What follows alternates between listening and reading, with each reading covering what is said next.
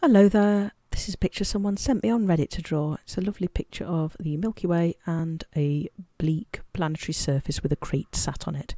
And you can just make out the plane of the solar system with one visible planet, and the rest are showing us points of light.